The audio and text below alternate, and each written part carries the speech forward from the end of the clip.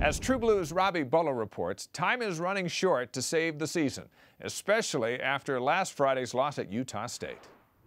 On Saturday, BYU hoped to jumpstart its offense and end a three-game losing skid. Something had to give as the nation's 116th ranked scoring offense faced its 101st scoring defense in Utah State. But the upset minded Aggies quashed that wishful thought even before halftime. Diondre Borel hit Xavier Martin in stride for 79 yards to draw first blood. Field and a wide open Martin. Xavier Martin. Can he stay in? Yes. Touchdown, Aggies.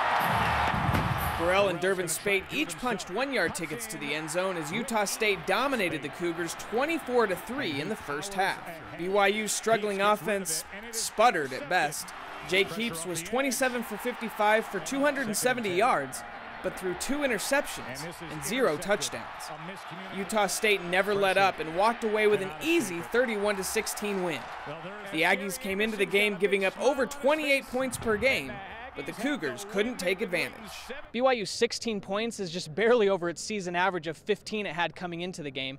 As the offensive drought continues, answers are few for the Cougars. Can't, can't really say why, other than it's just an area that we'll have to keep working on. Um, I don't have another answer besides that. We're not finishing as well as well as, well as we should, and um, we just got to keep getting better. If we don't wake up and bounce back from this, it'll, it'll be a rough Saturday next week. So we, we got to get up, we got to move on, and we just got to take it in stride, learn every single day, and uh, continue to get better as a team. But I think it was just execution driven, not in any one particular play, nor in one particular facet of the game, just uh, execution overall.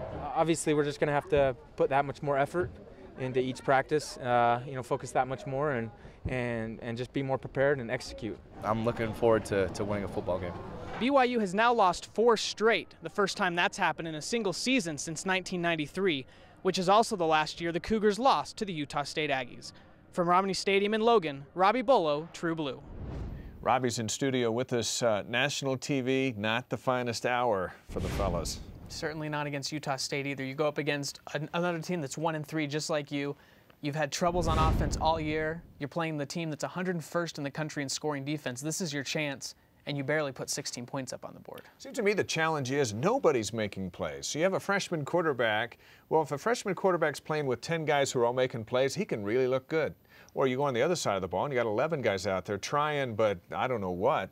It just seems like nobody is making plays, and that's making all the pressure on Jake Heaps and, and, and making him struggle. Sometimes you can win a game when only one side of the ball does well. You know, your offense can win a shootout where you both score 50 plus points, but when your offense is 114th in the country, your defense is 86th, neither side's doing well, you know, you're not going to win any games that way when you're only scoring 16 when you're giving up 28 plus a game. Right, you can't blame that on, on one guy playing one position. You got to you got to have everybody involved. Well, what's the psyche of this group now because San Diego State comes in for homecoming Saturday. They beat Utah State 41 to 7 2 weeks ago and they're ninth in the country in scoring defense. So this offense is not going to get a break. Then after that, you go TCU, who's fifth, Utah, the end of the year, seventh. So this offense has got to figure out how to get stuff clicking because they're still going to face three of the top 10 defenses in the country. You're not going to get a break. The Mountain West is getting stronger. You're scheduling stronger non-conference opponents. This right. is the worst scoring team BYU has had in 40 years, and they've got to find a way to get something working. If they want to go to a bowl game, it is a must-win on Saturday. Absolutely. Homecoming last year, they got destroyed by TCU. You're coming back to LaVell Edwards Stadium. You like to win those games. They can kind of start fresh. You know, you're 0-1 in conference. You can still win the conference if you win out. Hopefully Air Force gets beat, but yeah, this is a must-win. Okay, we'll be there. Robbie, thank you.